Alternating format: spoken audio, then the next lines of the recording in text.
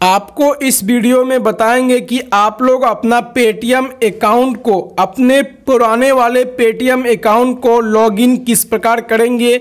जैसे कि आप लोग के पास तो दो चार पाँच अकाउंट पेटीएम का होगा ही, और आप लोग चाहते हैं कि मैं अपना पुराना वाला अकाउंट को लॉगिन करना चाहता हूँ, लेकिन आप लोग को समझ में नहीं आ रहा है कि आप लोग अपना पुराना अकाउंट को लॉगिन कैसे करेंगे? अभी मैं आप लोग को पेटीएम में पुराना अकाउंट लॉगिन करने का पूरा प्रोसेस बताऊँगा।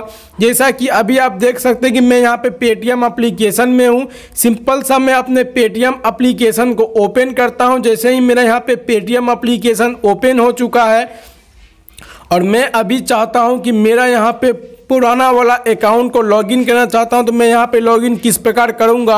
और अगर आप लोग को भी लॉगिन करना है, अपने पुराना वाला अकाउंट को लॉगिन कैसे करेंगे, इन सभी के बारे में इस वीडियो में पूरा विस्तार से जानेंगे। अगर आप लोग को भी लॉगिन करना है, अपने पुराना वाला अकाउंट को तो आप इस वीडियो को पूरा लास्ट तक देखिए। अगर आपने अभी तक चैनल को सब्सक्राइब नहीं किया है चैनल को सब्सक्राइब ज़रूर करें, क्योंकि आप सबको पता है कि हमारे चैनल पर आपको मज़ेदार वीडियो देखने के लिए मिलते हैं इसके लिए आप लोग हमारे चैनल को सब्सक्राइब करें।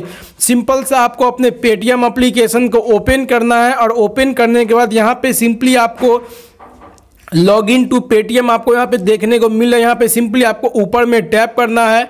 जैसे ही आप लोग यहाँ पे टैप करेंगे, आपके सामने यहाँ पे दो ऑप्शन आप देखने को मिलेगा। पहला आपको लॉगिन देखने को मिलेगा और दूसरा आपको यहाँ पे मिलेगा क्रिएट अकाउंट अगर आप लोग एक न्यू पेटीएम अकाउंट बनाना चाहते हैं तो आप लोग बिल्कुल आसानी से बना सकते हैं, कोई दिक्कत की बात नहीं है। अगर आप लोग लॉगिन करेंगे तो सिंपली आपको यहाँ पे आपको लॉगिन पे टैप करना है, और यहाँ पे आप लोग का मोबाइल नंबर देखने को मिलेगा। आप लोग यहाँ पे जो भी मोबाइल नंबर को एंटर करना चाहते हैं, कोई दिक्कत की बात नहीं है।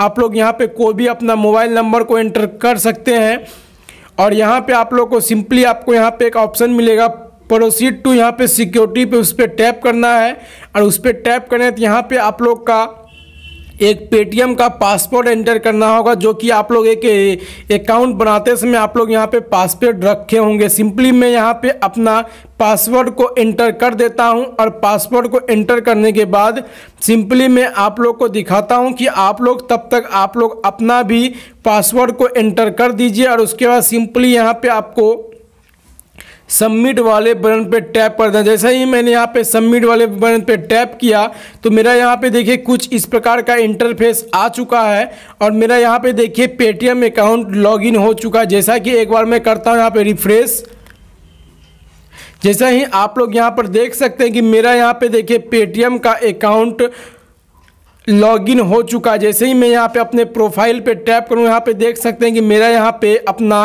अकाउंट लॉगिन हो चुका है। तो आई होप कि आपको ये वीडियो अच्छा लगा होगा और साथ ही आपको पता चल गया होगा कि आप लोग अपना पेटीएम अकाउंट को लॉगिन किस प्रकार कर सकते हैं। सिंपल आपको मोबाइल नंबर डालना है और जो आपने उसमें पासवर्ड रखा था, उस पासवर्ड को एंटर करके आपको लॉगिन कर लेना आपको अगर वीडियो पसंद आया होगा इस वीडियो को लाइक करें। अगर आपने अभी तक इस चैनल को सब्सक्राइब नहीं किया है चैनल को सब्सक्राइब कर कर बेल नोटिफिकेशन ज़रूर प्रेस करें और इस वीडियो को लाइक करें। चलिए बस आज के लिए इतना ही। फिर मिलते इसी तरह से वीडियो पर। जय हिंद, वंदे मातरम।